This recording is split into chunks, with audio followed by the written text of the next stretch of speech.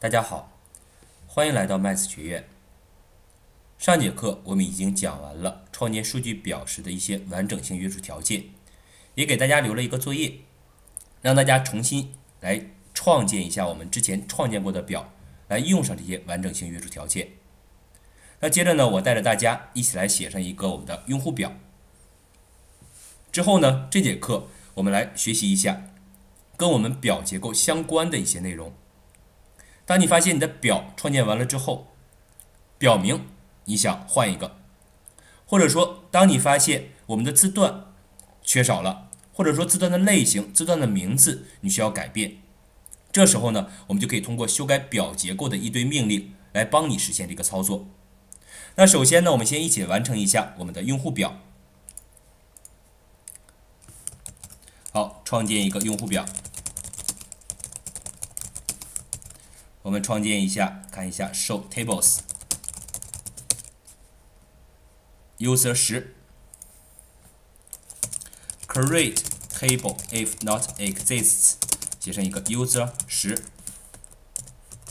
首先编号我们叫 id，我们的用户可能有很多 small int 无符号的 and send 主键 key 自增长 auto increment。以后你会发现。我们创建的表第一句话基本上是固定的，除了我们这个类型需要根据你存储的范围来决定，其他的这几项都是一定的。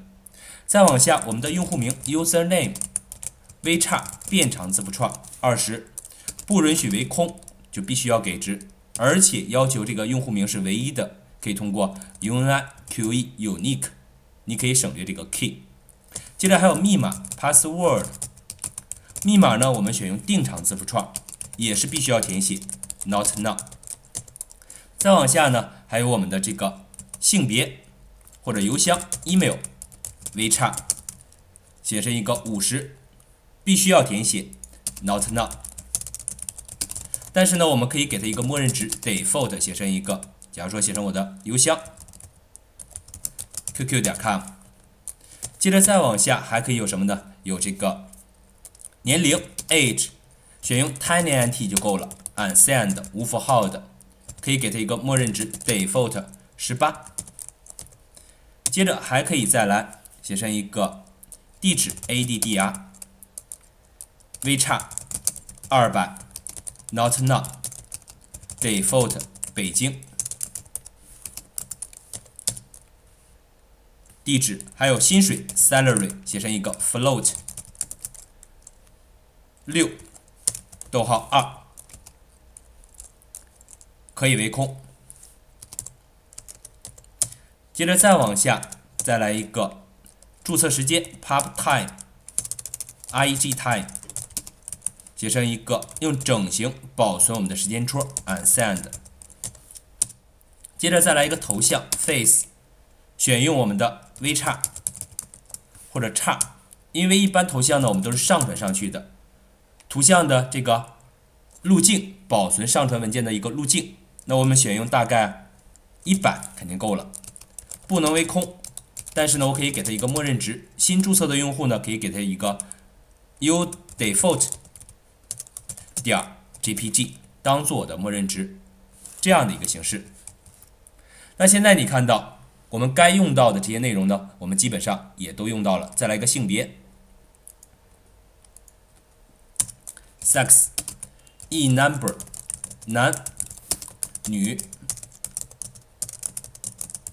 保密，默认的是保密，default 写成一个保密。这样的形式。那现在我们再来可以指定一下存储引擎，或者不指定都使用默认的就可以。把这个表创建成功。user 十。来查看一下它的表结构，user 十。你会看到，按照你建表时字段的一个顺序，包括的类型、约束，都已经显示到这儿了。是否为空？是否是主键？是否唯一？是否有默认值？包括是否自增长？那接着，现在我们就来看一下，假如说现在我的表名我不想叫 user 十了，我想叫什么呢？我想叫 user 幺幺。那这时候呢，就要需要修改这个表名。当然，你说我可以重新。创建一个，把这个表删掉，重新创建一个可以。但是呢，如果我表中已经有数据了，你还需要把数据导出来，接着呢再创建一个表，再把数据导进去，那这样就很麻烦。那在我们 MySQL 中呢，就给大家提供了这样一些跟表结构相关的一些命令。那首先看到想修改表名，我们可以通过两种方式。第一种可以通过 alter 语句，alter table 表名，通过 rename 关键字，可以有 to 或者是 as，也可以没有，加上新表名就可以。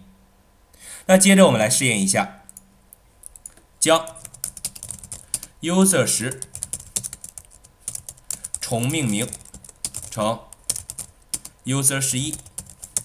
首先 alter table。你要对哪个表进行重命名？user 十，接着通过 rename 关键字可以写 to 新表明 user 幺幺。那接着你看一下，成功。那接着你再 show tables，你看到已经变成了 user 幺幺了。那第二种我们还通可以通过再把它变回去，alter table user 幺幺 rename。as user 十，用 as 也可以成功。再 show tables，你看到又回到了我们的 user 十。那接着这个 as 和 to 呢，我们也可以都省略掉，可以直接来写。alter table user 十 rename 关键字，直接就写成一个 user 幺幺，再把它变回去。这个 to 是可以省略掉的，又成功。再查询一下，你看到 user 幺幺，这是通过第一种形式 alter 语句。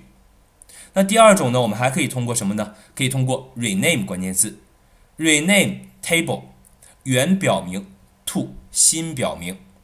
注意这里面的 to 是不可以省略掉的。那接着我们再来试验一下这个语句，rename。table 原表明是 user 幺幺 to user 十这样的一个形式，也可以把它修改成功。接着我们再来查看 show tables，你看到又回到了我们的 user 十。注意这里边的 to 是不可以省略的，如果你省略之后，你会看到报这样一个错误：rename table user 十。user 幺幺，你看到语法错误，这一点需要注意。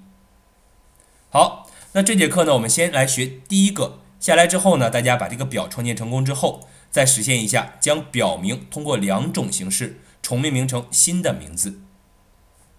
那这节课呢，我们就上到这里，感谢大家的收看。